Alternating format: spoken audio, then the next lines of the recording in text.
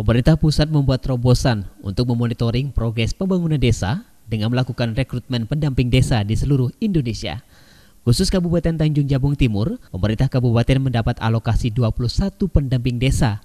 Namun jumlah tersebut jauh dari kata cukup, mengingat 21 pendamping desa harus mengawasi pembangunan di 93 desa dan kelurahan.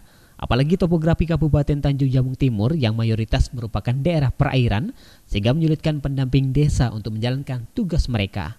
Kepala Badan Pemberdayaan Masyarakat Pemerintahan Desa dan Kelurahan atau BPMPDK Tanjung Jabung Timur Junaidi Rahmat mengakui jika 21 pendamping desa yang akan ditugaskan di Tanjung Jabung Timur merupakan jumlah yang tidak adil karena setiap tenaga pendamping harus mengawasi empat desa sekaligus.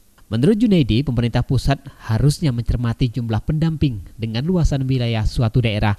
Junaidi khawatir kinerja pendamping desa tidak maksimal karena satu orang harus mengawasi empat desa sekaligus.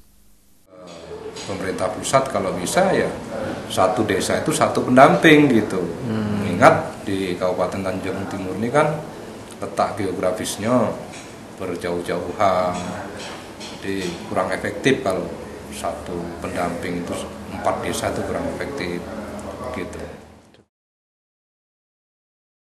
Agus Rasau, Jambi TV.